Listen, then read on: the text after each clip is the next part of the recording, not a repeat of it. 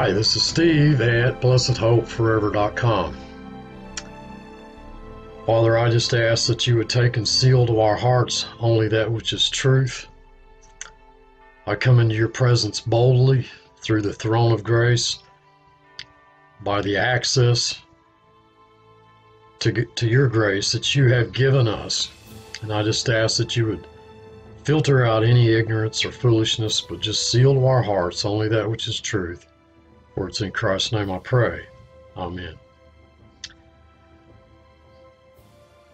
In this series of videos, we've been studying together in Romans, if you've been following along with us, and we left off talking about the importance of doctrine.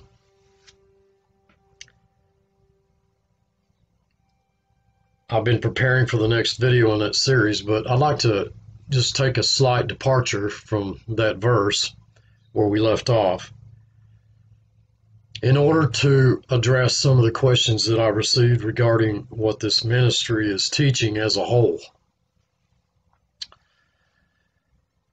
I think that's important, uh, and especially when people ask me to do so. The fact is, we are living in an age and at a time in which modern Christianity has little concept of who Jesus is and what he did. Sermon after sermon after sermon that I hear is is about what man must do for God, how the Christian ought to appease God, how he ought to sacrifice for God, how that in short he ought to earn God's grace, which is junk. I, I don't know what other word to use. Where is the serious realization that this book, the Word of God, is about Christ? There's little comprehension of doctrine. Doctrine divides.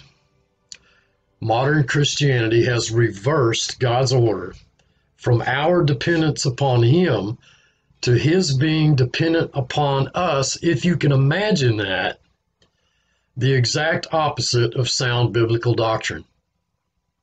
I pointed it, I, I've tried to point this out in every video that I've ever made, in every sermon I've ever preached. I'm, I made the statement, I don't know how long ago. If one of you married men was in bed with a prostitute when Christ came, you'd be caught up together with him in the air. And he'd say, Well done, thou good and faithful servant. And a bunch of people were shocked at that. All of the people who are shocked are people who don't realize that you are complete in Christ. Now, do you want to do that? Do you want to go and do that? That you are obedient, you're not disobedient. If you are a son of disobedience, folks, you're a son of the devil. We don't have to go very far into the New Testament to find out that we are obedient children. You're a new creation in Christ Jesus.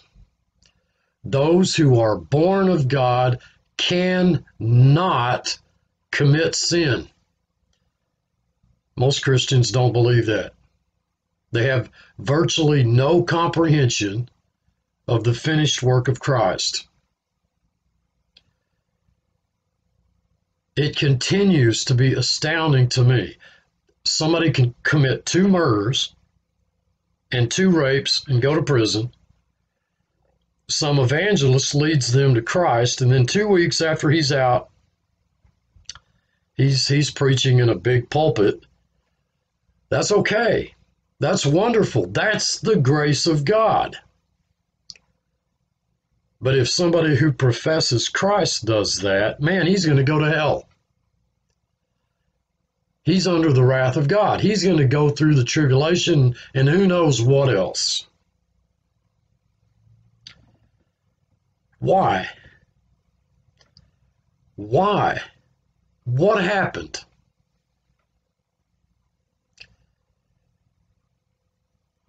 If you believe that there is any way that the wrath of God is directed towards you. Folks, you don't know this book. You simply don't know this book. This is the revelation of Jesus Christ.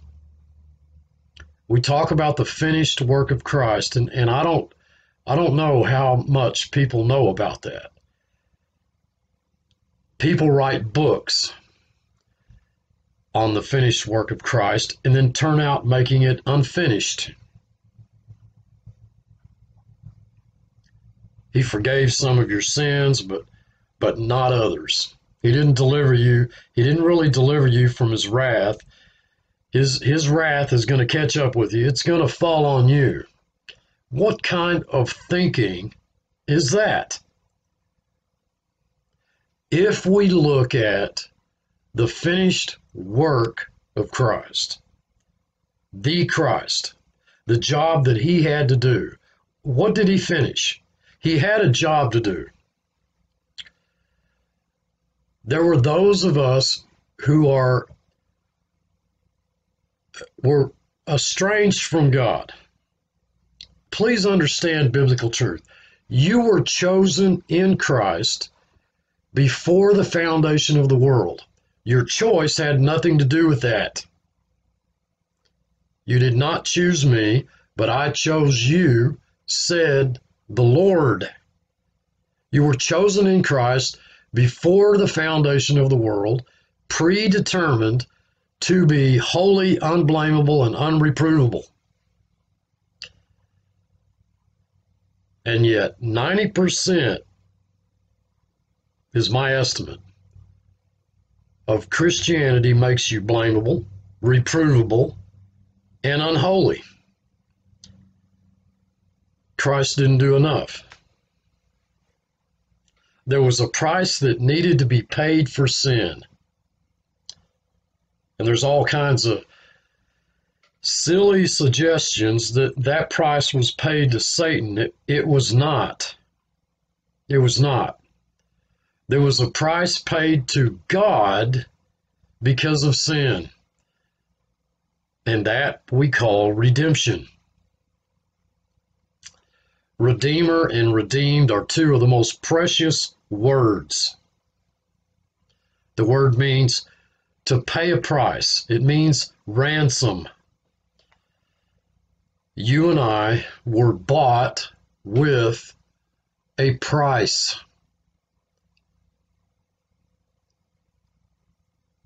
Now I want to cover a lot in this video, so I'll probably move fairly fairly quickly through my notes here. Ransomed. The word describes that we were in the marketplace, and because of sin, we were going to die. The soul that sinneth shall surely die. And Christ bought us. He bought us. And he brought us out of that place of sin. 1 Corinthians 6:20 For ye are bought with a price therefore glorify God in your body and in your spirit which are God's now, uh, let's look at the way that most Christians look at that verse. Let's look at how most Christians that I know look at that verse. You were bought with a price, therefore glorify God in your body and in your spirit. What if you don't glorify God in your body and in your spirit? What if you don't do that? Wait a minute. You didn't read the verse your body and your spirit are whose? Are God's. He bought you. You can't take that verse and rip it apart. God is very dogmatic. You were bought with a price. You didn't pay it. You did not pay it. Christ paid it. 1 Corinthians 7:23 you are bought with a price, therefore don't be servants of sin. Well, what if, well, Steve, what if you are a servant of sin? you're no longer bought with a price. Seriously? Where do you have any right to say that? You're not a servant of sin. I don't know how many Christians that I've talked to. Romans 6, reckon yourselves to be dead unto sin. Well, Steve, I've tried that 50 times and I still sin. As, as if that's that's reckoning is supposed to keep you from sinning. The reckoning is because you sin. It didn't say anything about sinning, stop stopping sinning. It said logically, look at the facts. You're dead to sin. That's where we're kind of at in our Roman study. That's the logical truth. You are. Well, well, Steve, I don't look like it. You sure don't. I don't even try and hide that fact. I won't try and hide that fact from you. You don't look like it, but you are. You are. You are dead to sin, or God's a liar. 2 Peter 2 1. But there were false prophets also among you, even as there shall be false teachers among you, who privately shall come in and bring damnable heresies, even denying the Lord that bought them. And that is what you do when you say that you're not complete. You're not sinless. When you're under the guilt of sin, that's what you do. You bring in a damnable heresy. When you say, when you say that I said a terrible thing that that man would be caught up to God, and God would say, Well done, thou good and faithful servant. If that isn't true, then Christ didn't pay enough. We always look at the big things. The big things. We always do. But, but fornication and all uncleanness or covet, covetousness let it not once be named among you. Well, what about that person that commits fornication? Wait a minute. I, would like to go to the uncleanness. Okay. What about the guy that broke the speed limit speeding through my town? What about the husband that had an unkind thought about his wife? Are they also under the wrath of God? damnable heresy. That's what it is. What you have done, what you've done, is demean what Christ did. There's another word for ransom or redeemed. Latruo. Latruo really means to be set free. To be set free. Matthew 20. Even as the Son of Man came not to be ministered unto, but to minister and give his life a ransom for many, not for all, for many. If he gave his life a ransom for you, what greater price do you want paid? Are you going to suggest that a little suffering or a little difficulty or, or a little punishment, plus the price that Christ paid, is better than the price that Christ paid?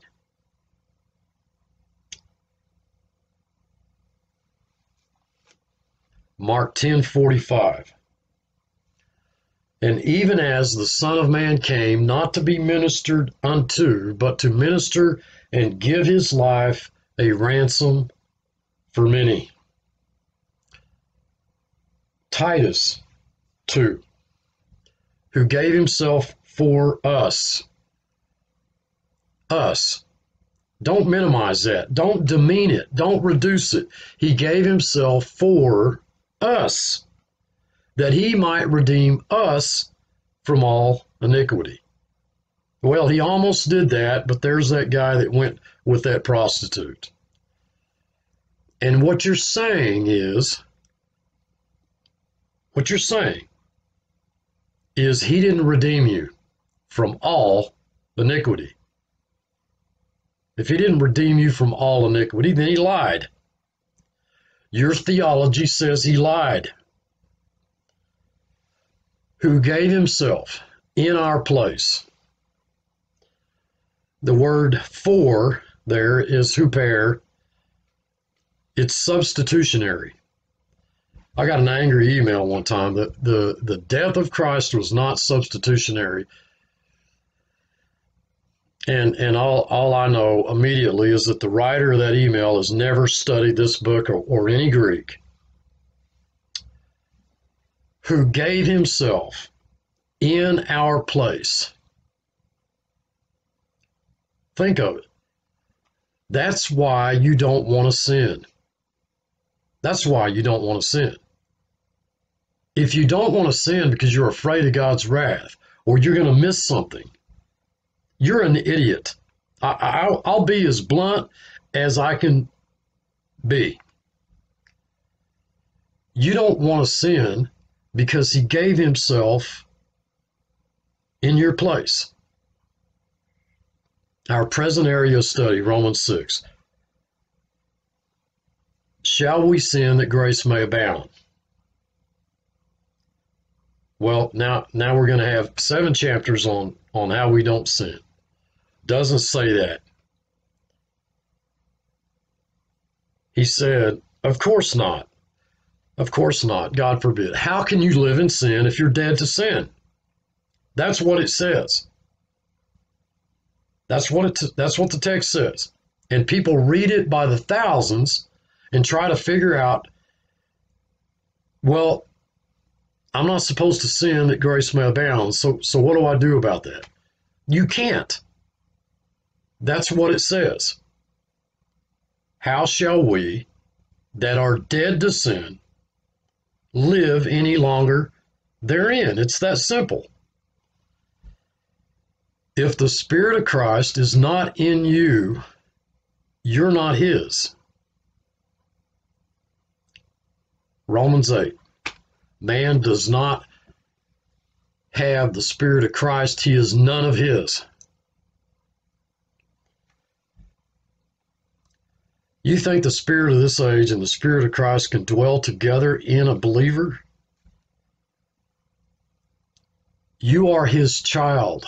You are an obedient son because Jesus Christ was your obedience.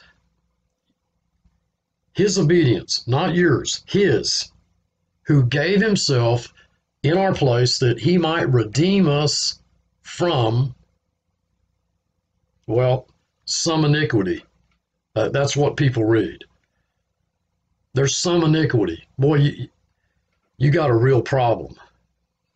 From all iniquity is what the text says, and purify unto himself a very valuable people, a peculiar people.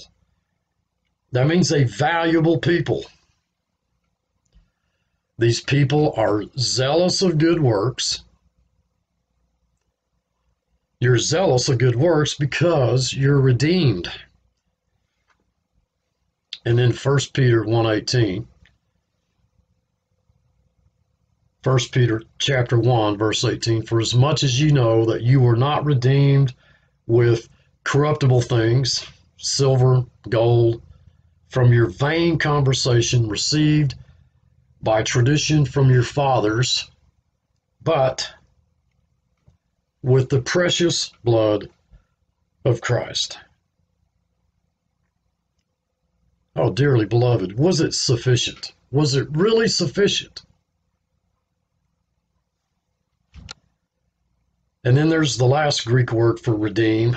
There are three, uh, which is which is ex agorazo. Ex ek means that you're taken out of the marketplace really you'd translate that you're taken out of marketability is how you would translate that it's something that's no longer sold. You don't go in and out of sin. You don't go in and out of the old life. You don't go in and out of being holy and unblameable and unreprovable. You're you're out of that area. You're a thing so precious, folks, that it can't be bought or sold anymore.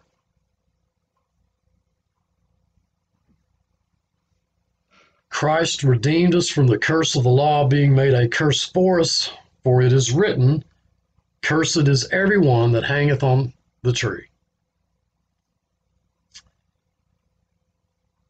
Are you under the law? Or do you believe, God, that you are not under law, but under grace? Do you believe that? If you're not under the law, there's no sin. How can you sin if there's no law? Now, wait a minute, Steve. How can you say how can you say that we don't sin? How can you say that? Because that's what God said. Now, if I do that, I would not. It is no more I that do it, but sin that dwelleth in me. Romans 7 20. The verse is not saying sin has ceased. What it's saying is, it is saying it is no longer you that does it. How can that be? Because you have two natures his seed abides in us, that is in, in the new man, and it cannot sin. It doesn't even have the power or the ability to sin. That new creation does not sin. This is a such a vital truth, folks, that, that when when missed explains much of the error of modern Christianity, which believes that its only option is to function out of the old man, the flesh, in which there dwells no good thing, which does nothing but sin. The Father in Christ cannot sin. The Father can't sin. Christ can't sin. The seed of God remains with us, and we have no power, no ability to sin. God did not redeem the flesh, and neither can we. The things I would, I do not, said Paul, and the things I would not, these I allow. O wretched man that I am. How are we delivered from the body of that death? Through Jesus Christ. Through Christ. Not additional suffering, not some kind of punishment, not some kind of wrath, not through law, not through works, Jesus Christ. Galatians 4 5. Galatians 4 5. To redeem them that were under the law, that we might receive the adoption. Adoption of sons. We're his son. We're his children. Adoption, folks, has an eschatological or, or, or prophetic inference even the redemption of our body, it's not redeemed. That's that's why it sins. That's the first aspect of the finished work of Christ. It is the price paid for sin. It is the aspect of the finished work of Christ that deals with sin, deals with sin, deals with the issue of sin. And the scriptures are abundantly crystal clear that he did a finished job. Sin is a past consideration in your life because you love him. We pass laws and say, Thou shalt not do this, and people will do everything in the world to get around it. But when you love him, when you love Christ, how, for those of you who love him, we love him because he first loved us. How can we live in, in sin any longer? And always, always somebody says, but but what if you do? Well, then God's a liar. he didn't do enough. And and folks, I don't see how you can do that. So we have been redeemed. We've been redeemed, not according to anything that we did, and we now learn that the finished work of Christ is is crucial as it regards our relationship to God. The sin issue is settled. It is settled. It shouldn't come up anymore. Does that alarm you to hear me say that? It's true. It's settled. What about our relationship to God? We're reconciled. Reconciliation is not repentance. Repentance is a change of mind. Has nothing to do with sorrow. Repentance says, I no longer follow the flesh, I follow God. A change of mind. But that's not involved in the finished work of Christ. Christ paid the price for sin. We didn't. We didn't. And if you're going to tell me he didn't pay enough, well, that's your problem. I'm not going to. I'm not going to do that. He did. Now, now there's the problem of reconciliation. We were estranged from God. We were his enemies. We were not working for him. We're not living for him. There's none righteous, no, not one. But the sin question, the sin issue, is settled. The sin question is settled. But we've all gone out of the way. We need to be reconciled to God. He doesn't need to be reconciled to us.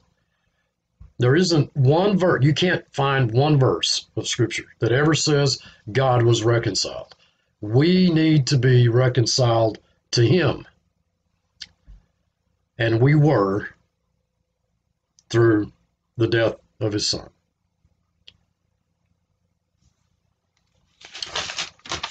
We've got two words katalasso Romans 5:10 for for if when we were enemies we were reconciled to God by the death of his son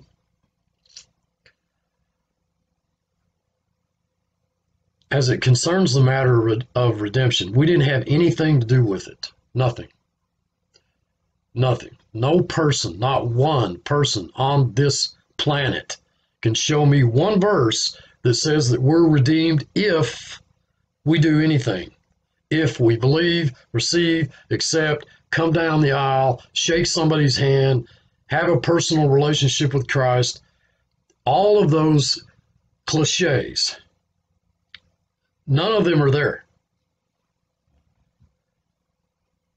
We are redeemed because Jesus Christ died in our place. reconciled.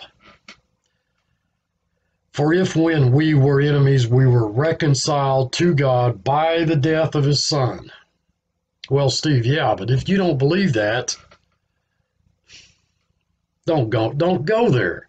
Wait a minute. If you are his, chosen from in Christ before the foundation of the world, you are reconciled to God by the death of his son. That's what it says. That's what the text says. If you're going to argue with it, then you argue with God. Much more than being now reconciled, we shall be saved by his life. Life. Not death, life. Reconciliation is followed by saved. or saved is followed by reconciliation.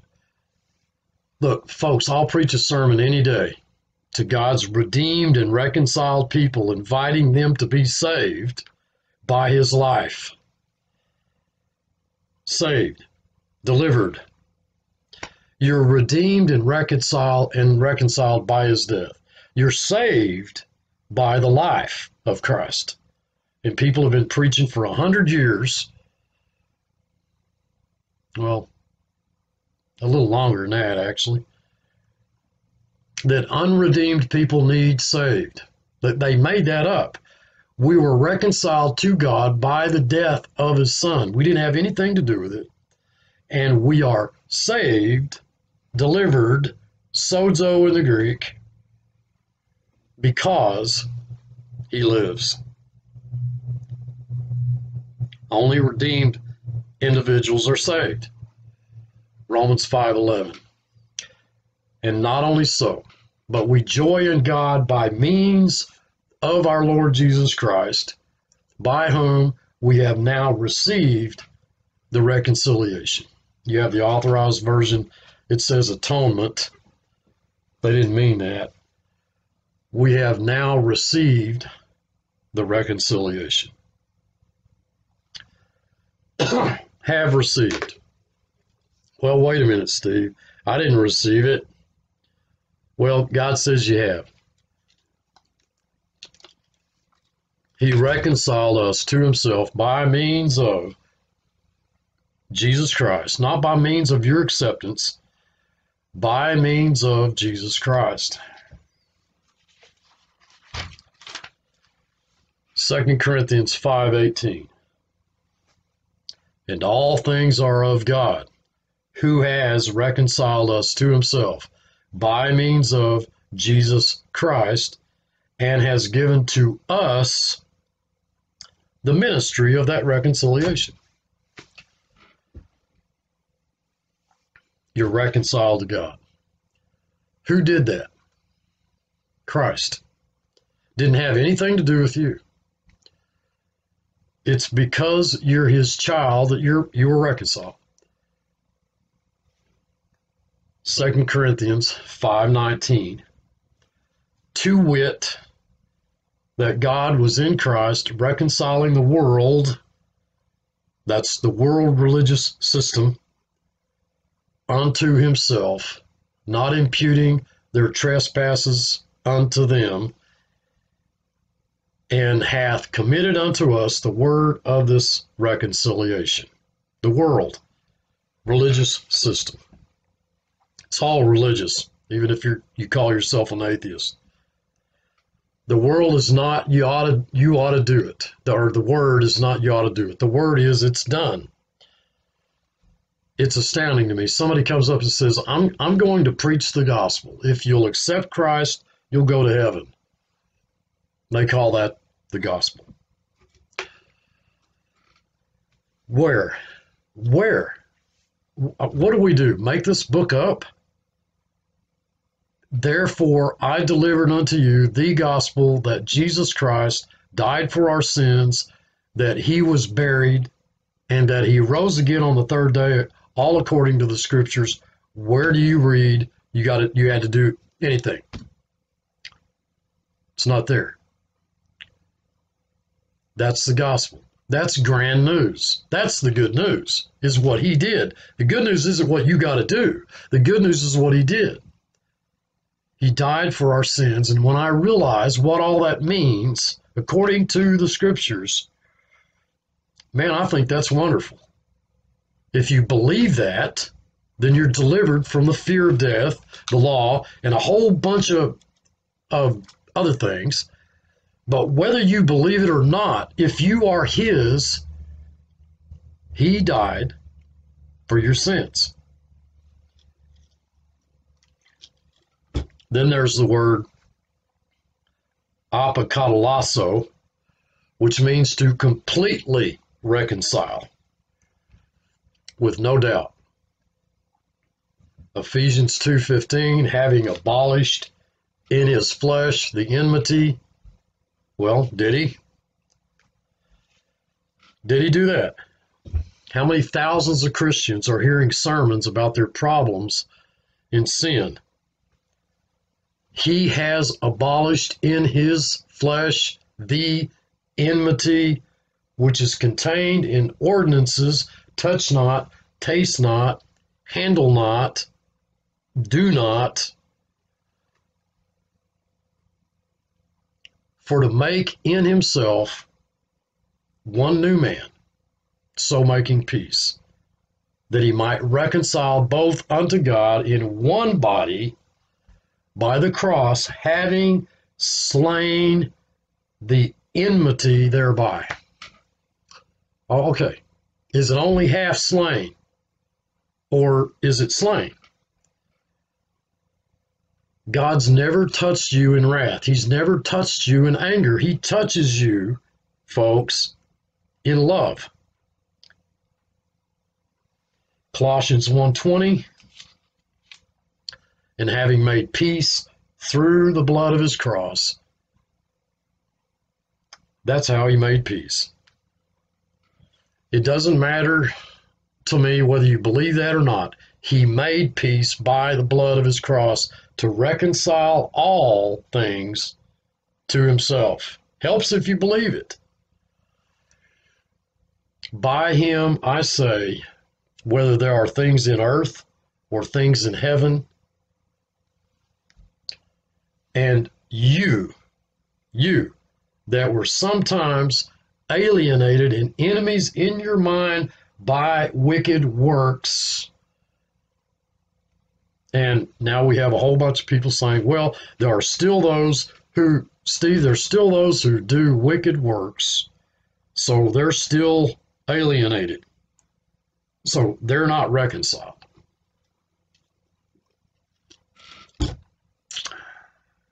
But how were they reconciled? By the blood of his cross. Not by believing in the blood of his cross, not by accepting the blood of his cross, but because he died in your place.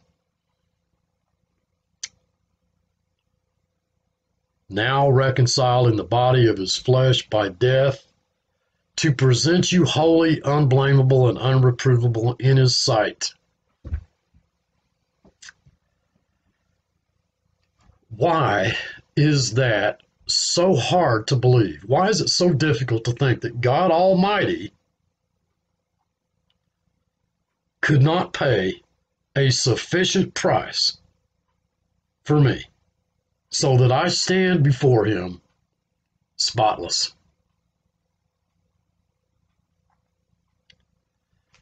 You know, folks, with all of the ungodliness that exists in our world, the scandals that we see nightly on the news and on social media from individuals to political parties to governments to secular and religious institutions from from, from this and that and on every level the only thing the only thing in this universe that stands before God holy unblameable and unreprovable is you want to take a guess? You, the body of Christ, the child of God in Christ, and yet Christians by the millions view themselves little different than how God, basically, how God views the world that doesn't know Him. At least at times. The problem is that we had sin as a, as a great problem. Christ paid that. It's all done. The next problem is we're not reconciled to God. We were his enemies. Well, he reconciled us by the blood of his cross. God wasn't reconciled, we were. But we still have a further problem. That, and that's that God hates sin. That soul that sinneth, it shall die. So, God needs to be appeased. We call it propitiation.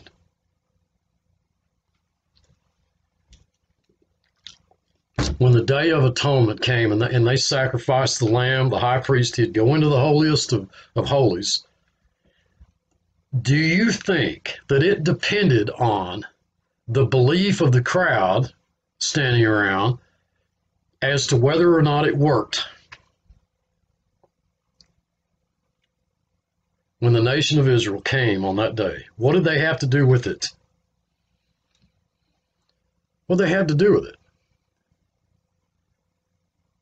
I think it's it's it's like 14 times in Leviticus. On that day thou shalt do no work. Thou shalt do no work. Thou shalt do no service. Thou shalt do nothing. The high priest is offering a sacrifice for sin. Didn't matter what they did, they did nothing. Jesus Christ propitiated Almighty and eternal God.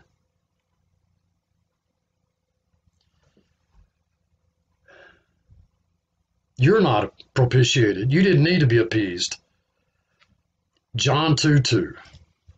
John 2 2. He is the propitiation for our sins and not for ours only, but for the sins of the whole world and world's religious system. He is the complete appeasement for our sin. If you name one that has not been propitiated, then this verse is not true. And you can't do that.